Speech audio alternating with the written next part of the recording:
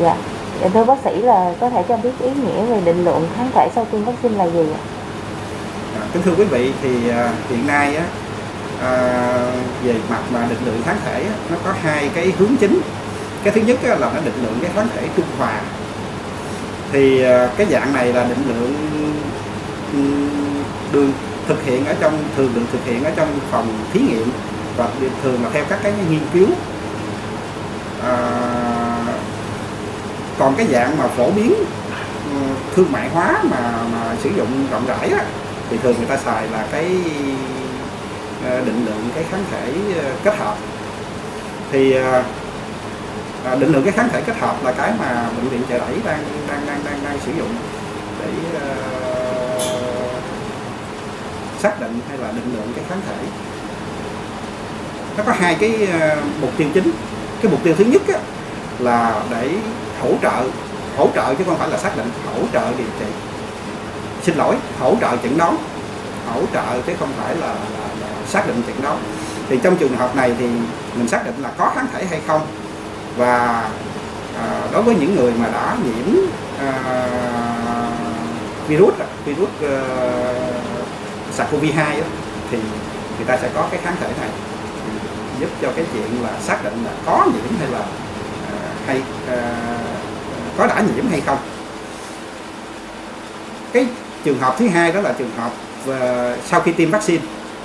Sau khi tiêm vaccine thì ờ, cơ thể cũng sinh ra một cái lượng kháng thể. Thì để xác định được rằng là à, có kháng thể hay không và có ở cái mức độ là bao nhiêu thì à, để đánh giá cái vấn đề là đáp ứng của cơ thể mình trong cái vấn đề tiêm vaccine đó là hai cái ý nghĩa chính của cái à, trong cái việc mà định lượng hay là xác định cái ờ, kháng thể à, SARS-CoV-2 À, dạ thưa bác thì có phải bệnh viện chợ rẫy là đơn vị đầu tiên để làm cái ờ, kỹ thuật ờ, định lượng kháng thể sau tiêm vaccine không ạ? à, liên quan tới cái vấn đề là à, bệnh viện đầu tiên làm cái định lượng kháng thể thì nó như thế này đối với các cái à, kháng thể trung hòa như hồi nãy nói đó thì à, các cái viện nghiên cứu hay là à, theo các cái công trình nghiên cứu đó, thì à, người ta đã làm. À, tuy nhiên là về cái định lượng cái kháng thể kết hợp thì chúng tôi đã triển khai. Thì theo trong cái hiểu biết của tôi đó, thì đúng là chợ rẫy là một trong những cái đơn vị đi đầu để uh, xét nghiệm cái định lượng cái kháng thể này. Dạ thưa bác sĩ thì um, chi phí uh, xét nghiệm này là bao nhiêu và áp dụng cho những đối tượng nào ạ? hiện nay thì bộ y tế chưa có quy định cụ thể là cái ờ, xét nghiệm này ờ, xét nghiệm về à, định lượng hay là định tính cái kháng thể SARS-CoV-2 Là áp dụng cho đối tượng nào? À, còn à, về à, áp dụng cho đối tượng nào thì à, giống như mục đích ban đầu nó sẽ có hai nhóm. Một cái nhóm là để mình xác định là người này đã có nhiễm hay chưa. Hỗ trong cái hỗ trợ hỗ trợ chẩn đoán á, à, hiển nhiên là không có nói được rằng là à, người này đang nhiễm nhưng mà có thể là đã nhiễm. Thì à, có thể đối với đối tượng này thì mình có thể thử bất cứ lúc nào mà bác sĩ nghi ngờ và cho chỉ định có chỉ định. À, trường hợp thứ hai là trường hợp sau tiêm vaccine trường hợp sau tiêm vaccine thì nó có hai cái thời điểm. Một cái là sau cái buổi tiêm thứ nhất và một cái thời điểm nữa đó là sau mũi tiêm thứ hai. Thì sau mũi tiêm thứ nhất á, người ta nhiều nghiên cứu khác nhau thì có kết quả cũng khá là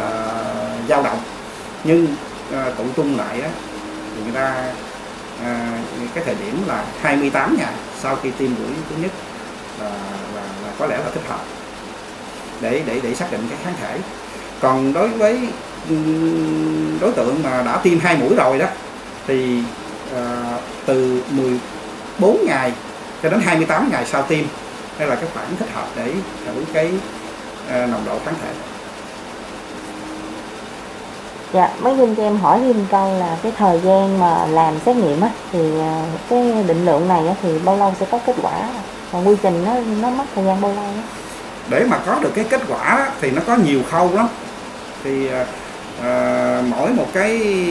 quy trình một cái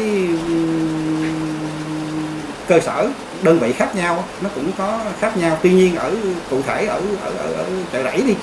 thì à, à thời gian mà chúng tôi thực hiện trên máy nó tầm khoảng 18 18 phút là chạy trên máy cộng với thời gian là lấy mẫu chuyển mẫu đồ các thứ thì trong khoảng chừng à, một tiếng đồng hồ thì chúng tôi có thể có được kết quả cho à, à kết quả xét nghiệm.